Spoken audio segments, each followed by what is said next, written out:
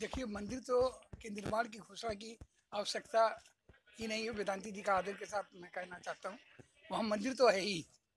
वहाँ भगवान राम की पूजा हो रही है अर्चना हो रही है। तो मंदिर तो वहाँ बना हुआ ही उसको सुसज्जित करने की बात है। ये तो विवाद ही नहीं है कि वहाँ मंदिर है।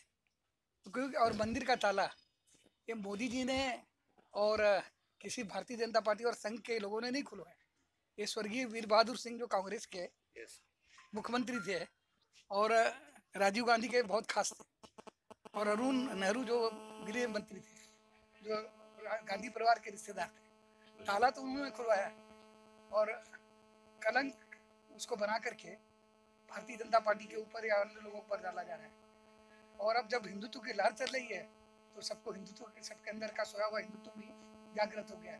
तो ये तर्कीन बात है। मंदिर को भव्य बनाने की बात है। जब रामलला की पूजा हो रही तो खड्डर में क्यों? उसको बहुत बड़े स्तर पर हो, और ये होना चाहिए।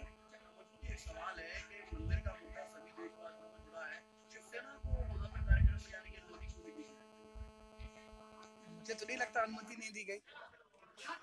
सुरक्षा की बात है जहाँ तक। हमारे से छोटे आदमी की सुरक्षा इतनी टाइट है कि अगर हम रोके नहीं इन लोगों को तो आपको धक्का दे दें। कई बार पत्रकार साथी नाराज़ हो जाते हैं, हमारे रिश्तेदार नाराज़ हो जाते हैं।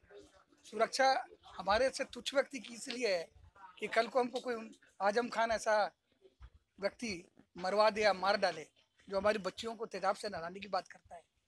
तो फिर तो जवाबदारी तो योगी जी की होगी। तो उद्धव ठाकरे कुछ सामान्य व्यक्ति है? आदित्य ठाकरे कुछ सामान्य व्यक्ति है? वो पूजनीय, आदरणीय है बाला साहब के पुत्र और पौत्र हैं।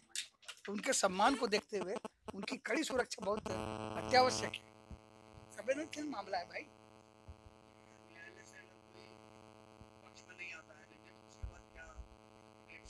पक्ष में नहीं आता है तो आपकी सरकार है, राज्यसभा में अगर विरोध होता है तो जो लोग फर्जी हिंदू बनकर घूम रहे हैं, उनके उनके लिए कहना पड़ेगा कि क्या मिली ऐसे लोगों से जिनकी फितरत छुपी रहे, नकली चेहरा सामने है असली सूरत छुपी रहे। अच्छा हिंदू कौन है?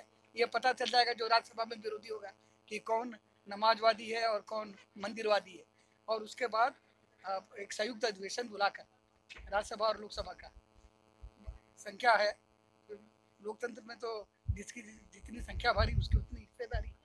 तो वो एक विधेयक ले आना चाहिए। लेकिन कोर्ट के तिरस्कार के बाद तैयारी पूरी रखनी चाहिए। लेकिन पहले हमको न्यायालय में जाना चाहिए। एक आखिरी सवाल है आपके बड़े भाई को। आप जन्म दिवस पर हर साल शुभकामनाएँ देते थे।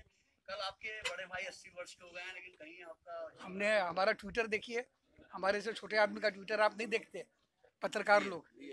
कल हमको अगर मोदी जी विशेष को ज़िम्मेदारी दे दें तो आप लोग उसको छापिएगा। आज हमारे पास कोई ज़िम्मेदारी नहीं है। मैं देश के 125 करोड़ नागरिकों की तरह एक सामान्य नागरिक हूँ। आपने ट्विटर देखा नहीं और आरोप लगा दिया।